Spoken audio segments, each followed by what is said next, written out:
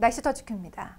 오늘 낮 동안에도 서쪽 지역은 우산을 챙기시기 바랍니다. 서울을 비롯한 중부지방을 중심으로는 퇴근길에도 비가 내리겠는데요. 비가 내리는 지역은 다행히도 더위가 잠시 완화는 되겠지만 오늘 하루고요. 내일은 다시 더워지겠습니다. 오늘 서쪽 지방의 비는 태풍의 가장자리에서 만들어진 비구름 때문인데요. 제9호 태풍 렉기마는 중국 칭따오 부근 해상에 위치해 있습니다. 태풍의 상하층이 분리가 됐고 산동반도를 지나면서 지면 마찰로 많이 약해진 상태입니다. 12시간 이내 열대 저압부로 약화되겠는데요. 하지만 태풍의 오른쪽으로 부는 남풍의 영향으로 내일 새벽까지 서쪽 지방을 중심으로는 비가 조금 더 내리겠는데요.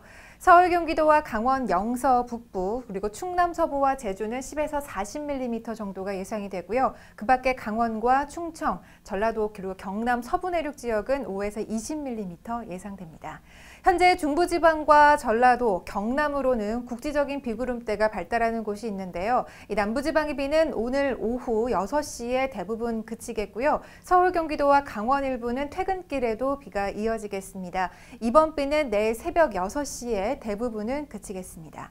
비가 계속 강하게 내리다기보다는 때때로 강약을 반복한다는 점도 기억해 두시기 바랍니다. 태풍의 강도는 많이 약해지면서 바람은 많이 잦아들었습니다. 하지만 오늘 서해안과 서해상, 남해상은 여전히 강풍대에 속하겠는데요. 특보 현황을 보셔도 서해상과 남해상으로는 풍랑주의보 정도가 내려진 상태입니다. 비로 인해 폭염특보는 해제가 되거나 경보가 주의보로 완화가 된 지역이 대부분인데요. 다만 비가 잠깐 스치는 충북과 비 소식이 없는 경북 일부는 폭염 경보가 이어지겠습니다. 낮 기온을 보셔도 서울과 강릉은 32도, 광주는 31도로 더위가 일시적으로 주춤하겠고요. 대구는 35도로 폭염이 이어지겠습니다. 잠시 주춤한 더위는 비가 그치는 내일 다시 오름세로 돌아서겠는데요. 수요일은 35도까지 오르겠습니다. 폭염이 예상되니까요. 참고해 주시기 바랍니다. 날씨 터치였습니다.